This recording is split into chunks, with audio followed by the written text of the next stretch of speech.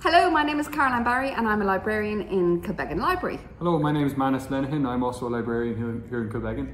And our heads are on the block here. Well, we're not about to be executed, but this very famous piece of wood is kept in Kilbeggan Library. And why, you might ask?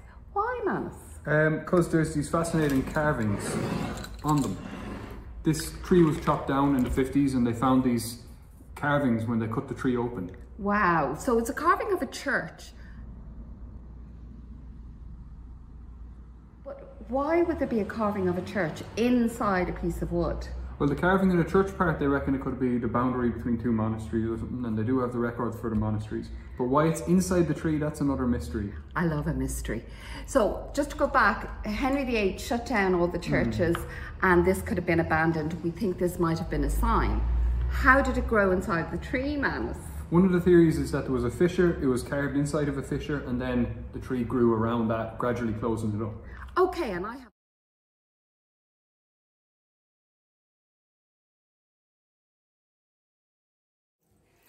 Uh, so I'm Gary Dempsey from Digital Heritage Age. Um, I'm an archaeologist specialising in digital recording.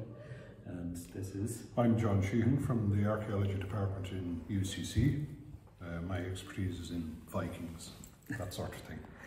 So we're uh, recording as part of a project to record cross slabs uh, across the kind of Clonmacnoise hinterland and, and look at that area. So we're doing workshops here in Athlone today, but we saw your lovely uh, wooden carvings. So these amazing wooden carvings that seem to be carved on the inside of the same That was split log. open. Yeah.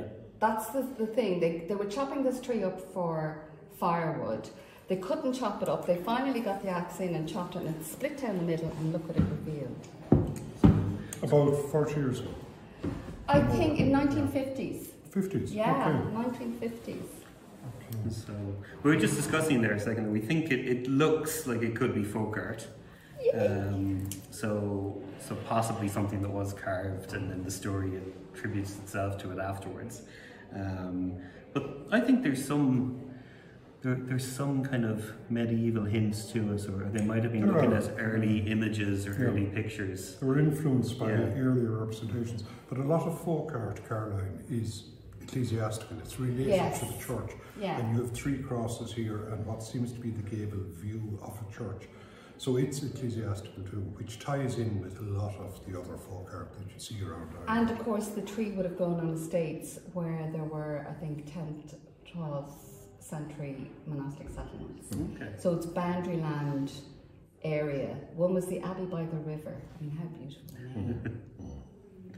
So, but it's, it's a lovely piece, and it's it's an interesting piece to have. I think is are the two carvings ever so slightly different on this.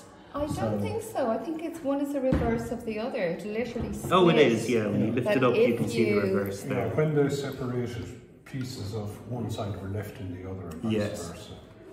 So when you scan it today, Gary, it's yes. going, obviously it's going to reveal a lot of detail that we can't see now with the naked eye. Yeah. So the the nice thing about the scanners, we use a a laser scanner that uses light waves and cameras and it records us. And if anyone's ever used a, an Xbox Kinect, that's literally what we're using. Right. Um, that type of technology. Two cameras and one flashing light. And it can record a room or can record an object in 3D. Um, so we obviously have a very high-end version of the Kinect, but we can yeah. do that. And what you can actually start to see then is when we process that, you'll start to see tool marks. Well, what I'm keen on seeing is, is the centerpiece a Christ figure on a cross? That's what I'm wondering okay. with the RK. Now, that's just the art history college student.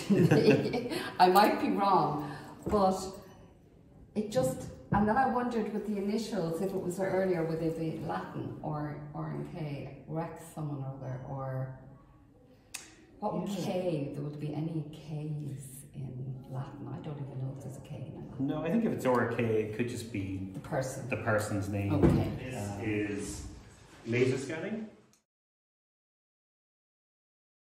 When I press play here, um, this should start to record and then I'll just turn this around. Put that carving side face up and do a scan just at the top of it. So the most detail you're going to record is the carved surface. And here you can begin to see the carving on the wood. Um, so yeah, it's hard to tell if it is a figure in the middle or not. Yeah. still. But we can run what we call a process called ambient occlusion, which is basically shadow lighting. Okay. So we make a black and white image of this. And again, we just use another piece of software to run that through. And it will take what we call the texture or the color and it will make a black and white version. And that's generally for computer games to tell you where shadows are, Okay. but we use it in archaeology to actually show up the detail. Brilliant.